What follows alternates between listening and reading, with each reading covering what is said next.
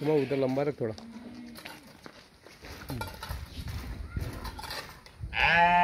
मुँह इस तरफ़ कर।